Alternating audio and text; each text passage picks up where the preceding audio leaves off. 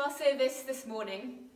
Um, I don't know if you've been able to get out and about for your daily exercise. Um, I've been uh, doing the same walk every day, and something this week reminded me of my childhood. I don't know if any of you kids ever used to make dens, but um, I used to love making dens in the garden. Um, and this week I was on, a, on my walk and I decided to sit down on a bench and just briefly take in my surroundings.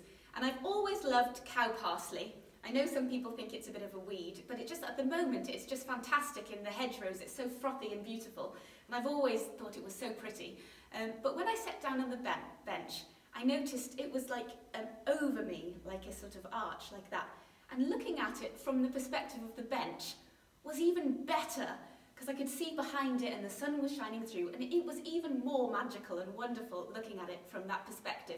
And it reminded me of the psalm that is this week's psalm. It's Psalm 31 and it says, In you, O Lord, I have taken refuge. Let me never be put to shame. Deliver me in your righteousness. Turn your ear to me. Come quickly to my rescue. Be my rock of refuge, a strong fortress to save me. Since you are my rock and my fortress, for the sake of your name, lead and guide me. Free me from the trap that is set for me, for you are my refuge. Into your hands I commit my spirit.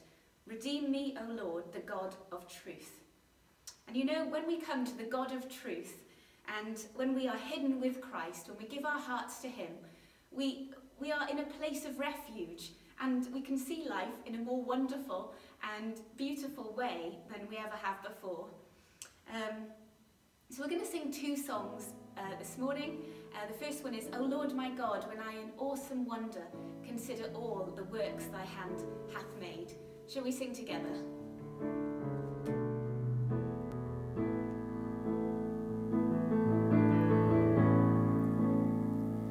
Oh Lord my God, when I in awesome wonder consider all the works thy hand hath made, I see the stars, I hear the mighty thunder,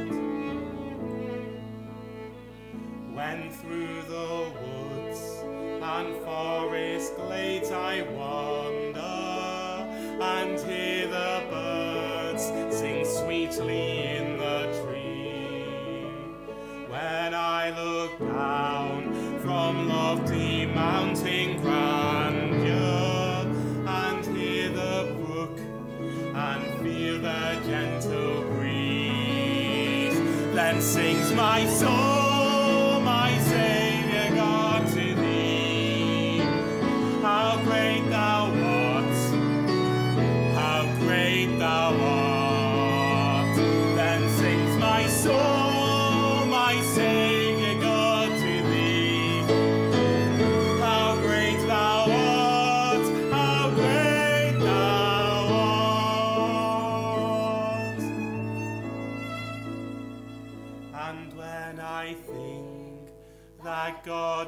Son not sparing.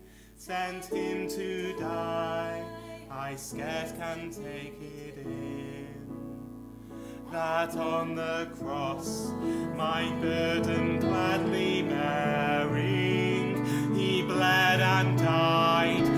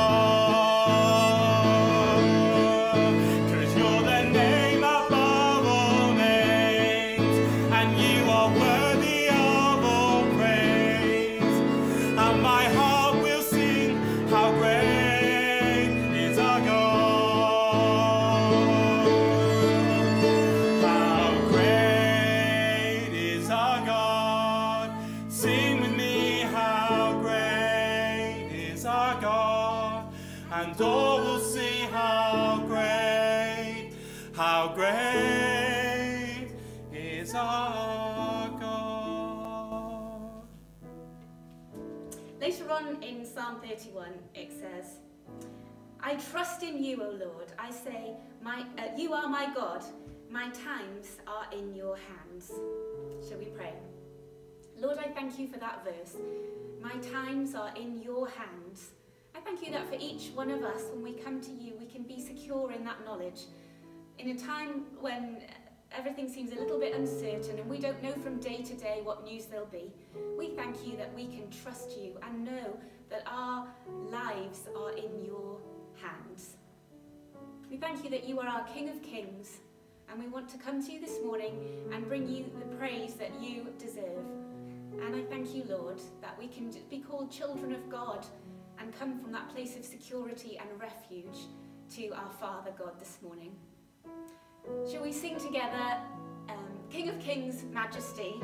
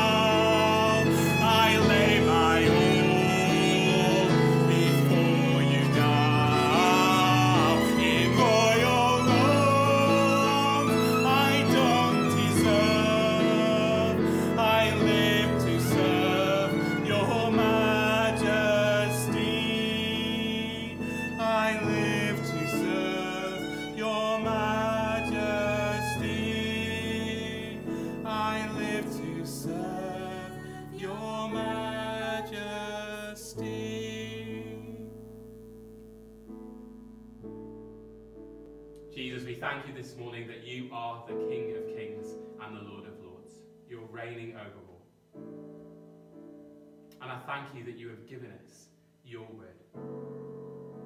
And I pray that as we read it now and as we hear John speak from it, that you would speak to our hearts by your Spirit, that we might realize more of your glory and your goodness, and more of your great love to us, and so that we might grow to be more like you. In Jesus' name,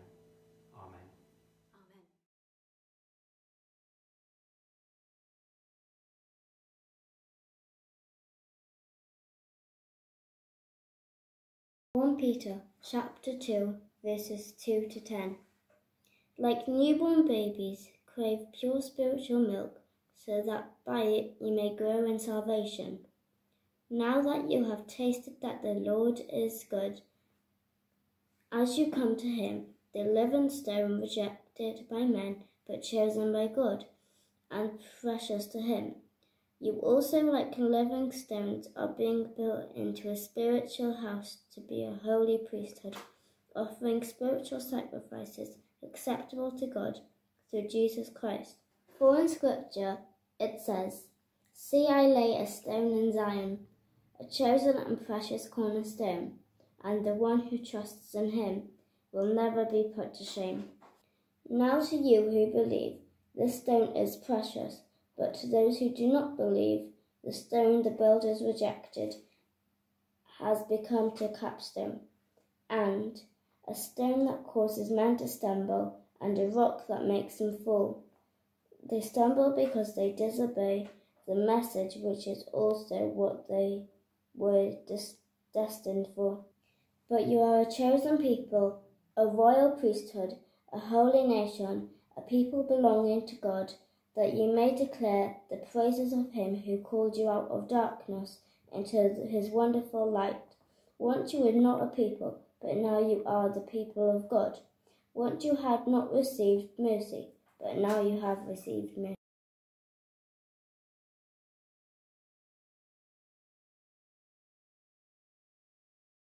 The second reading is from John chapter 14, verses 1 to 14. Do not let your hearts be troubled. Trust in God. Trust also in me. In my Father's house are many rooms. If it were not so, I would have told you. I am going there to prepare a place for you. And if I go and prepare a place for you, I will come back and take you to be with me, that you may also be where I am. You know the way to the place where I am going. Thomas said to him, Lord, we don't know where you are going, so how can we know the way? Jesus answered, I am the way, and the truth, and the life. No one comes to the Father except through me. If you really knew me, you would know my Father as well. From now on you do know him, and have seen him. Philip said, Lord, show us the Father, and that will be enough for us. Jesus answered, Don't you know me, Philip, even after I have been among you such a long time? Anyone who has seen me has seen the Father. How can you say, Show us the Father? Don't you believe that I am in the Father, and that the Father is in me? The words I say to you are not just my own. Rather, it is the Father living in me who is doing his work. Believe me when I say that I am in the Father, and the Father is in me. Or at least believe on the evidence of the miracles themselves. I tell you the truth. Anyone who has faith in me will do what I have been doing he will do even greater things than these, because I am going to the Father. And I will do whatever you ask in my name, so that the Son may bring glory to the Father. You may ask me for anything in my name, and I will do it.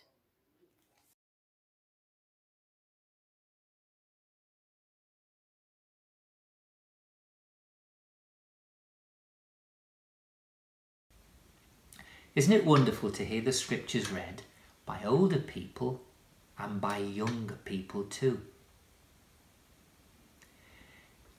The Bible is a book for everybody, and children especially treasure the very first Bible that they ever, ever read. The psalmist says, I've hidden your word in my heart that I might not sin against you. And that's the Lord, isn't it?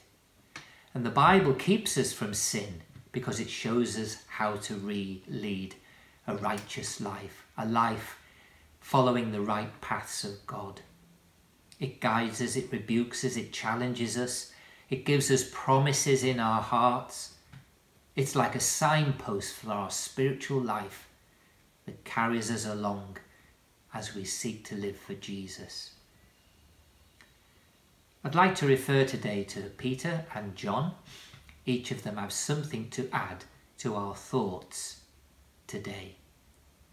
And the first thing I'd like to say is Peter's reference to the cornerstone.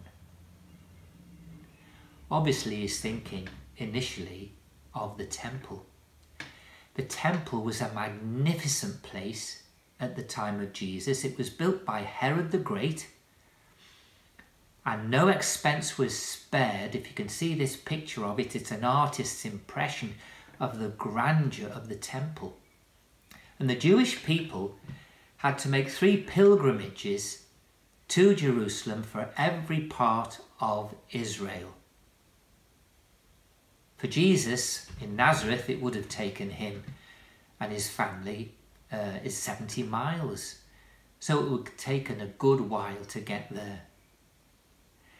And the lovely thing is that the people gathered in Jerusalem to worship God at the temple. The priests were there to accept people's offerings and sacrifices. They were there to lead in praise and intercession. They were there in a jubilant time of glory. And they were there to remember the good things that God has done. There were three uh, particular times when Jewish people had to go to Jerusalem. So all of the Jewish community would have seen the temple in its majesty and its glory. And Jesus himself, of course, was taken to the temple when he was just a little baby. Mary and Joseph couldn't afford a lamb, and they took perhaps two doves or two pigeons, which the law allowed for people who were poor.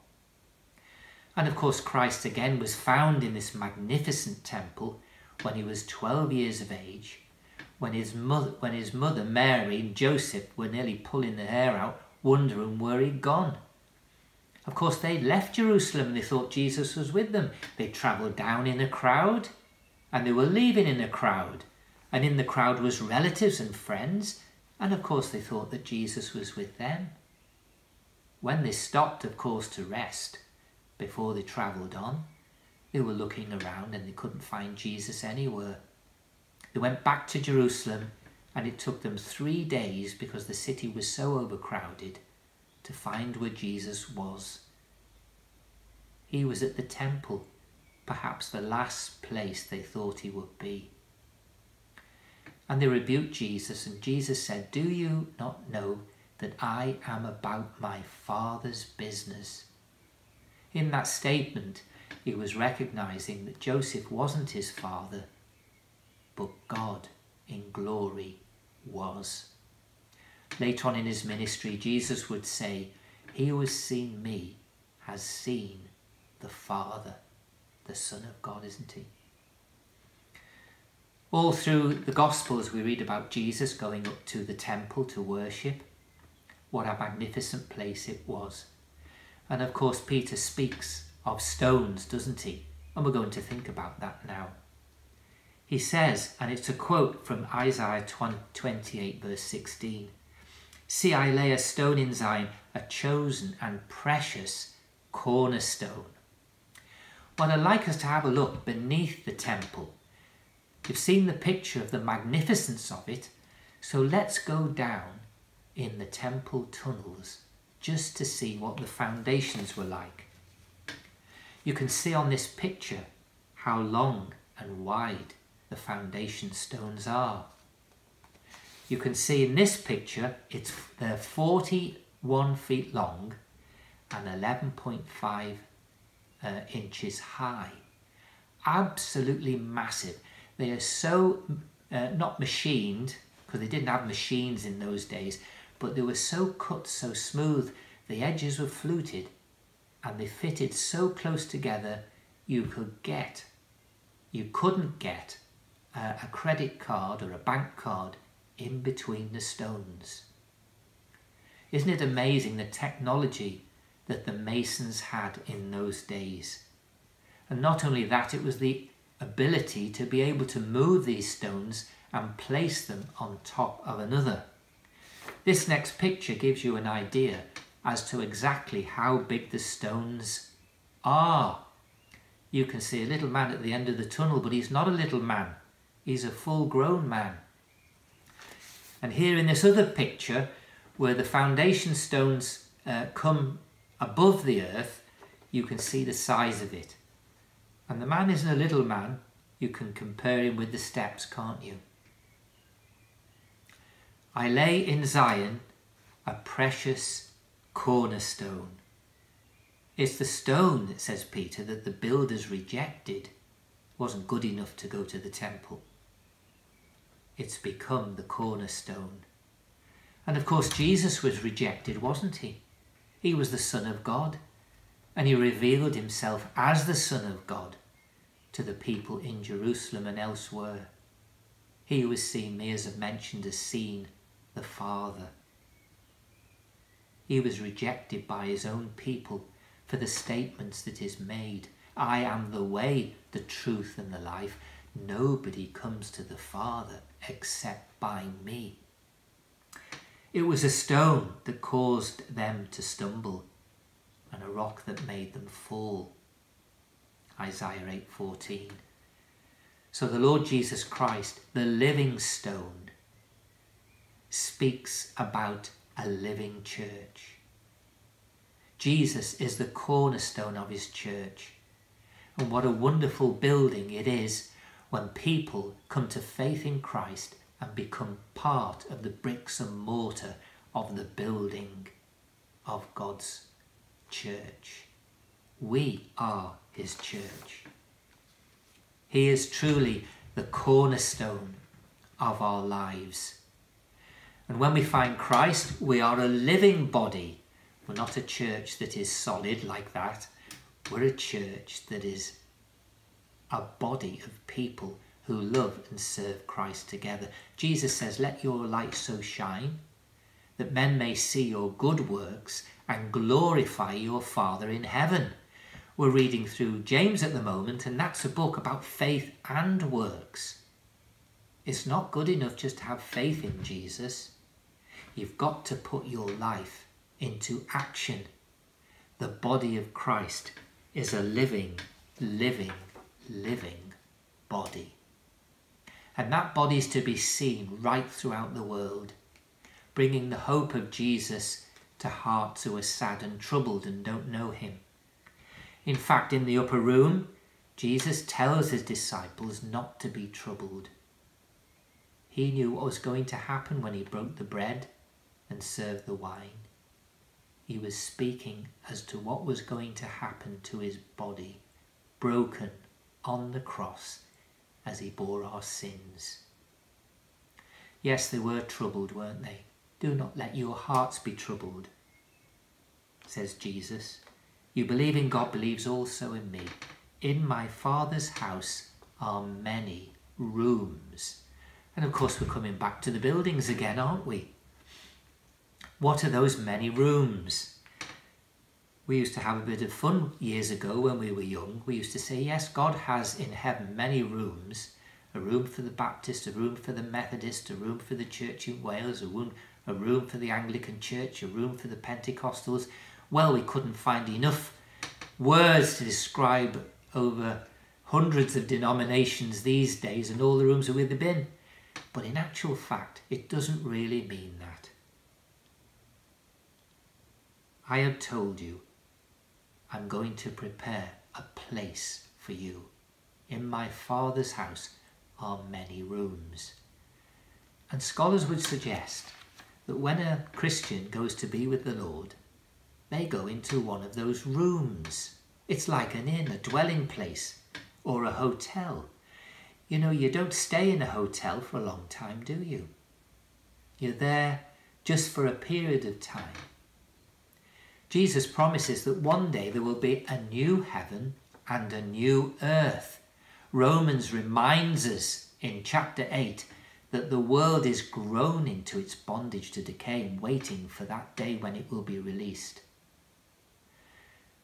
Now, in our society at the moment, we are fighting against COVID 19, aren't we?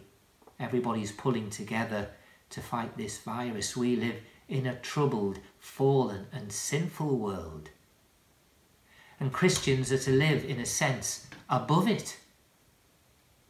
We live for Christ. We have a hope that goes beyond death and into glorious resurrection like the Lord Jesus Christ. What a wonderful promise he has for his people. And he says to his disciples, Don't be troubled. I'm going to prepare a place for you. I wonder if you're ready to go to that place. Is Jesus your cornerstone in life? Those big stones in the temple, the ones you can't see underground, never moved, and even some that you could see. Jesus is a solid stone for us, isn't he? He is the cornerstone of his living body here in earth. His foundation is the best foundation of all. Jesus reminds us not to build our house down on the sand, but to build them on the rock.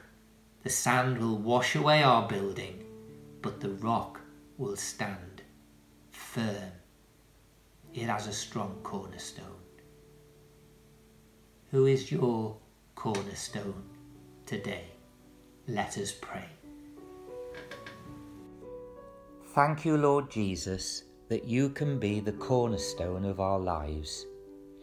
We're reminded of your words recorded by the Apostle Peter speaking of the Lord Jesus. Behold, I am laying in Zion a stone, a cornerstone chosen and precious, and whoever believes in him will not be put to shame. We remember our nation at this present time. The memories of VE Day are very poignant. Celebration on the one hand, and the two minute silence to remember those who sacrificed their lives for our freedom. In Scripture, we remember the greatest victory Christ Himself, the Son of God, who died for our sins for all the world. It brought victory for everyone who turns to Him in true repentance and faith. May He be the cornerstone of our lives, of our government, and our nation. We're reminded in Proverbs 14, verse 34 righteousness exalts a nation, but sin is a reproach to many people. Let us join together in saying the Lord's Prayer. Our Father, who art in heaven, hallowed be thy name. Thy kingdom come, thy will be done, on earth as it is in heaven. Give us this day our daily bread, and forgive us our trespasses, as we forgive those who trespass against us. And lead us not into temptation, but deliver us from evil. For thine is the kingdom, the power, and the glory, forever and ever.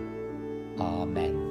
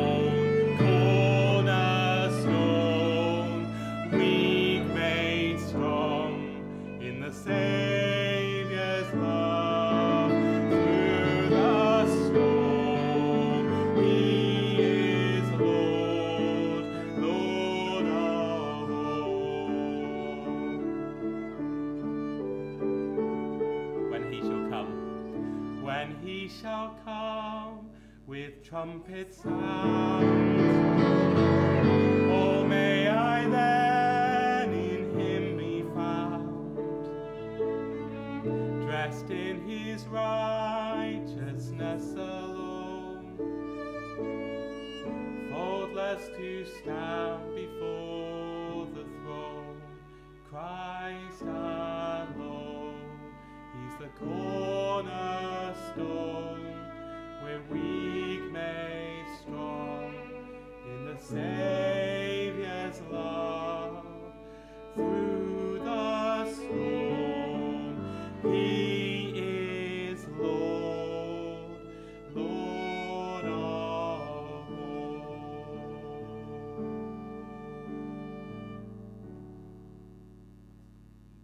Let's say the grace together. The grace of our Lord Jesus Christ, and the love of God, and the fellowship of the Holy Spirit be with us all evermore. Amen.